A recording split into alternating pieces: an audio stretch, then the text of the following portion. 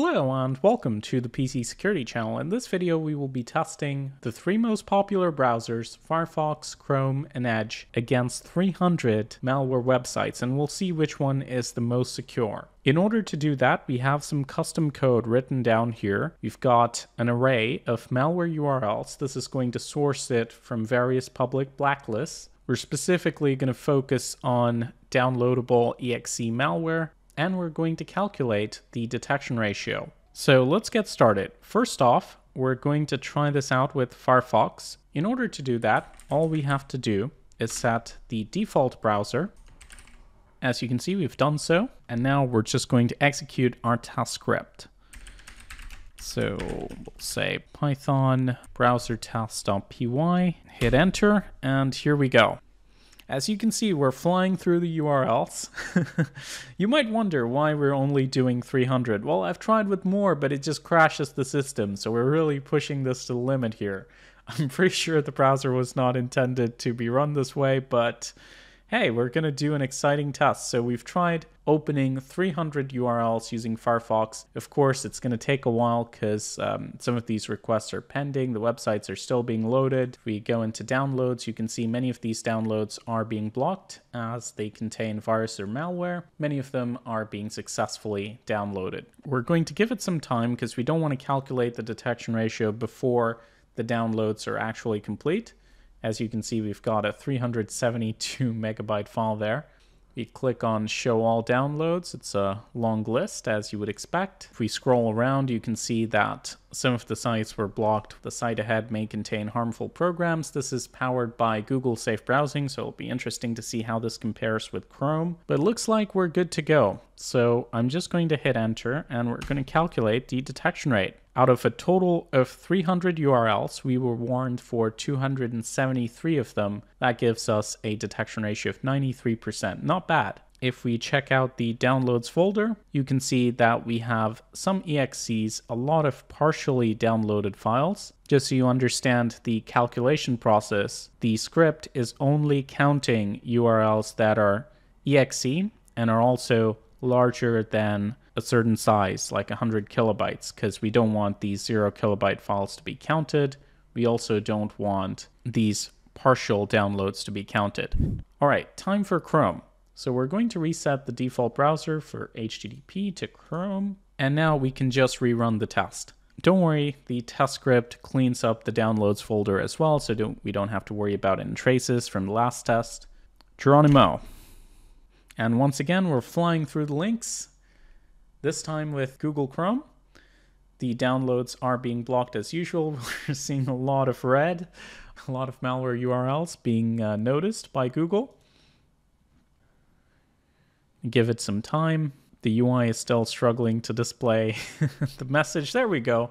The site ahead contains harmful programs. Now, just so you know, Chrome even has something called enhanced protection. I don't think it changes a lot for the type of test we're running, but just so you know, but just so you know, there is that option to do that. Now, once again, if we check out our downloads, you will see that a lot of things are blocked because they're dangerous. One point of differentiation here is that there are some files where I believe it looks like everything that can be downloaded has been downloaded, but I just want to mention that there are two types of alerts that Chrome provides. So one of them is that this file is dangerous, so Chrome has blocked it. So this is some sort of a detection. The other one is this file is not commonly downloaded and may be dangerous. And as a user, I've seen this prompt for legitimate files. So I guess this is just a popularity rating. So I guess this is like a partial detection because it's obviously not the same as detecting something as malware and blocking it outright because this gives you the option to keep it and I'm sure if you're used to downloading legitimate files this way, you could potentially click yes on a prompt if the rest of the process is convincing from the attacker's perspective. So I just wanted to mention that if we hit enter, we've got a detection ratio of 95.67% with 287 URLs blocked. If we go into the downloads folder, you can see we've got some EXEs, a lot of unconfirmed downloads, But keep in mind, if we did not count the warnings that were issued, the detection rate would be significantly worse. But there's no easy way to do that automatically. So when we're testing 300 URLs, we just have to treat both of these alerts the same. Now we're going to move to Edge. Once again, we'll just change the default browser and we're good to go. Microsoft says it's the most secure browser. Let's see if it can deal with 300 links. Here we go. So far, we're just stuck with a whiteout as we're flying through the URLs. I believe it's just taking a while to load the UI because even Edge did not see this coming. 300 malware URLs just being blasted at it. Finally, we've got a UI. Yay. The site has been reported as unsafe. This is Microsoft Defender Smart Screen in action. and now the downloads is not loading. Now, once again, what's interesting here is that Microsoft also has two types of alerts. So you've got things that were just blocked outright because they are considered unsafe. And then you have applications which could harm your device, but they give you the option to keep it. There are quite a few of these alerts scattered in here. As you can see, our testing script is going to count both of these as a full block. And I had to sell for that for automation reasons because there's no way for me to distinguish between this alert and this alert. But just something to keep in mind that the actual detection ratio, if you don't consider these as a block, would be much lower. But getting that out of the way, we have a full detection of 100%. Wow, so Edge was actually better at blocking malware. If we check the downloads folder, there's not a single exe in here.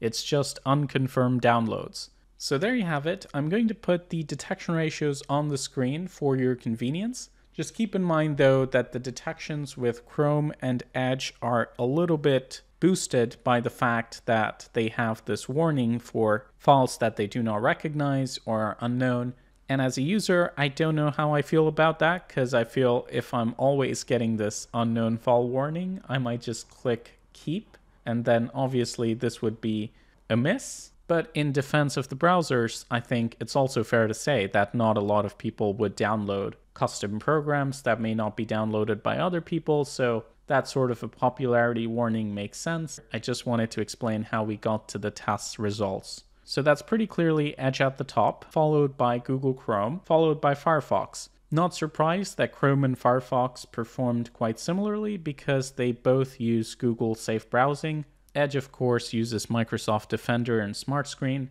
It also makes sense that Edge is better at blocking these threats because they are mostly threats for Windows, and obviously Microsoft has more of a vested interest in working specifically on Windows security whereas Chrome and Firefox would not have that many resources going into finding and reporting Windows malware. I hope you enjoyed this test. It was super fun to do, just throwing these URLs at the browser engineering everything on the back end, putting the array of links together, and then trying at different times to see how many links I can get away with before the system just crashes. So please like and share the video if you appreciate that. This video is brought to you by Guardio, a web extension that you can add to any browser to protect you from cyber threats.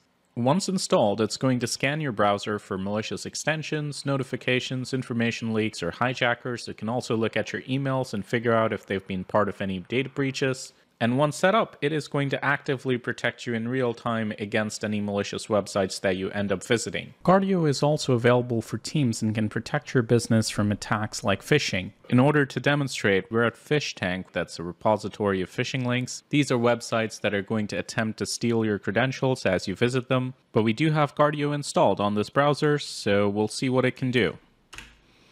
And as you can see, the moment we try to visit the site, it is blocked by Guardio. And because it's based in the web browser, it doesn't really matter where the link comes from. It's going to stop you from visiting it, whether it was in a spear phishing email or you just stumbled across it in the search engine.